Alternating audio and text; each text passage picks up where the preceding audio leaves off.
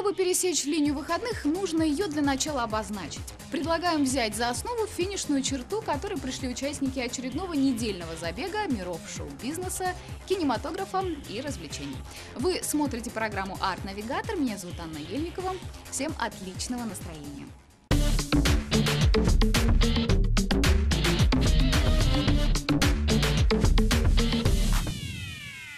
Совсем скоро вы сможете стать участниками эпической истории о жестокой несправедливости и суровом возмездии в амбициозном приключенческом экшене «Ярость Асуры».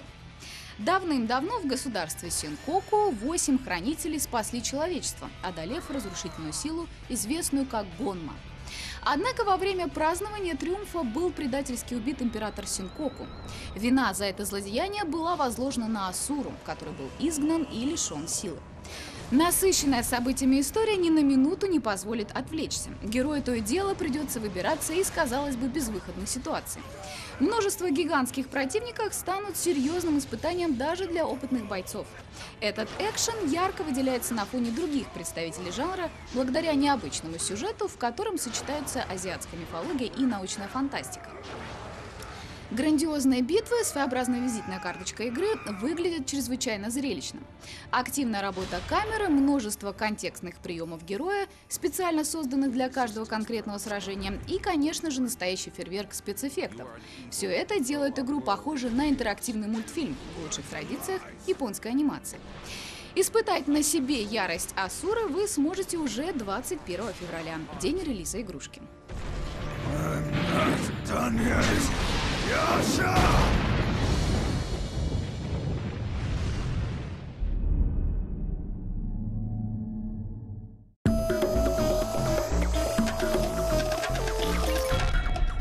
Прошедших выходных, готовясь к празднику Дня всех влюбленных, кто-то усердно вырезал валентинки, ну а кто-то недвусмысленно брал билеты в кино на самые последние ряды. Посмотрим результат. На очереди тройка фильмов-лидеров кинопроката по Северной Америке.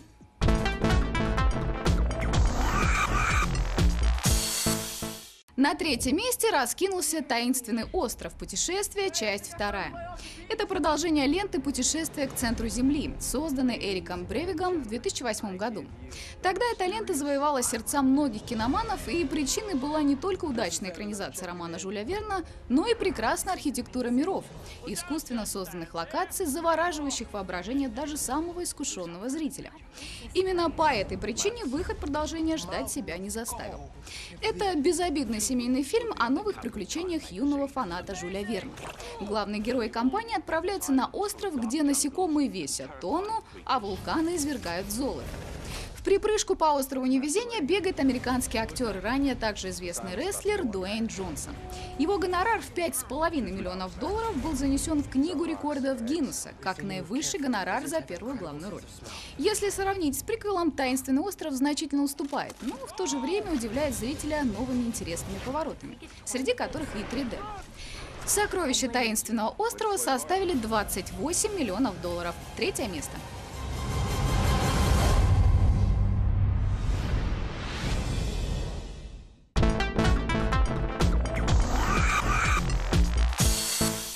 На втором месте зритель вскрыл код доступа Кейптаун. Это очередной динамичный экшен-боевик про агентов американских спецслужб. Стандартный для жанра сюжет украшен неплохими актерскими работами и неожиданными для зрителя поворотами. Для многих кинофильмы с участием Дензеля Вашингтона уже давно перешли в разряд периодически пересматриваемых. И эта картина, скорее всего, не станет исключением. Не подкачал и Райан Рейнольдс, который представит в новом для себя и зрителя образе. Лента снята в лучших традициях 90-х и отличается от всех других повышенной реалистичностью. Режиссер Дэниел Эспиноса четко действовал по принципу «меньше слов, больше дела». Лента до упора заправлена отличным красивым экшеном, от которого вы получите настоящее эстетическое удовольствие. Наряду со спецэффектами в ленте впечатляет и натурная съемка, а в частности пейзажи Кейптауна. Этот фильм однозначно порадует любителей жанра, что на своем примере подтвердили многочисленные зрители, заложив в начальный капитал ленты 39 миллионов долларов. Второе место.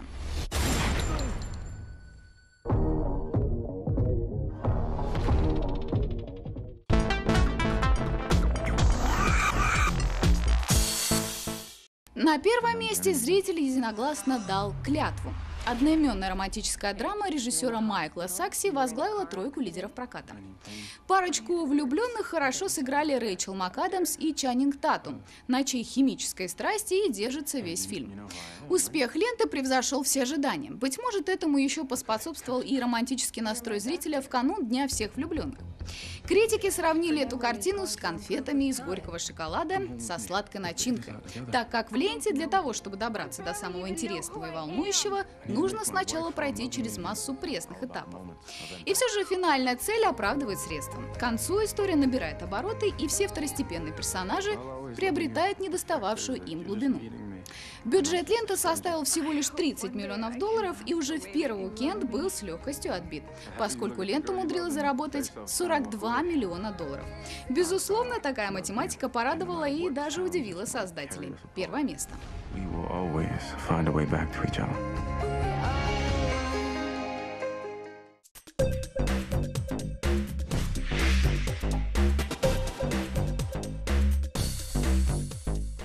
Обратим внимание на книгу, которая способна изменить ваше отношение к мемуарам. «Прощание с иллюзиями» в авторстве Владимира Познера.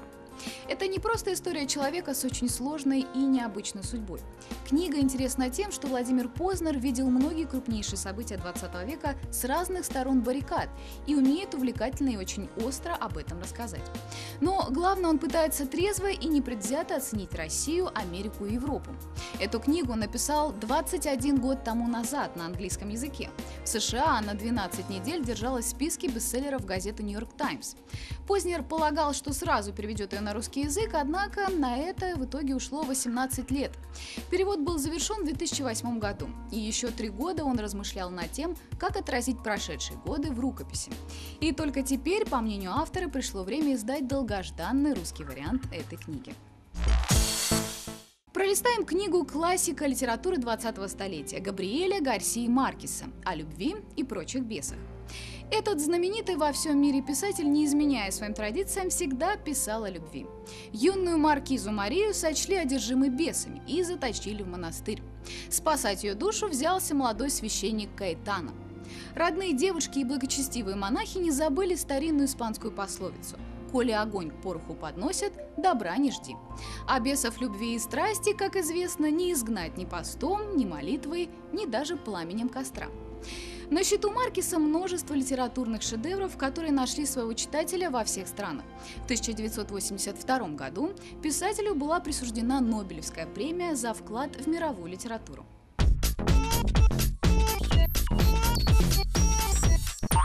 Неделю назад мы просили назвать фамилию главного героя серии комедий Леонида Гайдая – Шуриком. Оказывается, в оригинальном сценарии постоянным героем всех трех новелл был студент-мечтатель в очках по имени Владик Арьков.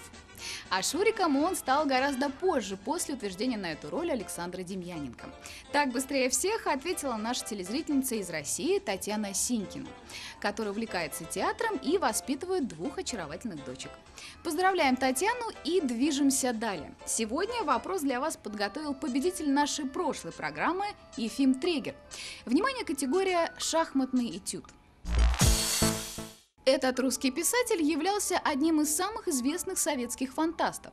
В этом жанре он дебютировал в 1936 году, заняв первое место на конкурсе за сценарий к фантастическому фильму «Аренида», который позже стал сюжетной основой романа «Пылающий остров». Его публикация стала началом 60-летней литературной карьеры этого писателя. Однако, как он сам позже признался, большего успеха он добился в мире шахмат. В 50-х годах он стал мастером спорта СССР и международным арбитром по шахматной композиции. В 1964 году завоевал на шахматной олимпиаде золотую медаль. Шахматный этюд всегда привлекал его трудностью создания, тем более, что в нем он видел возможность воплощения самых невероятных идей. В результате появилась книга «Дар Каисы», Герой повести, изобретатель шахматный композитор черпает технические идеи из создаваемых им этюдов и, наоборот, составляет этюды под влиянием собственных изобретательских идей. Внимание, вопрос! Какой советский писатель-фантаст был также известным шахматным композитором? Варианты ответа. Алексей Толстой, Александр Казанцев, Иван Ефремов, Кир Булычев. Как и всегда, присылайте свои варианты на наш электронный адрес artnavigator@live.com. В письме не забудьте указать ваше имя, контактную информацию и пару слов о себе. Имя победителя, как и всегда, мы объявим в нашей следующей программе. Удачи! Как и полагается, после бури всегда наступает затишье. Такая же схема работает и в природе отношений. После социально запланированного дня стихийной любви может наступить незапланированный спад романтической активности. Поэтому, чтобы вновь разжечь костер страсти, нужно для начала наломать дров. Непредсказуемых вам выходных и до встречи на канале RTVI. Счастливо!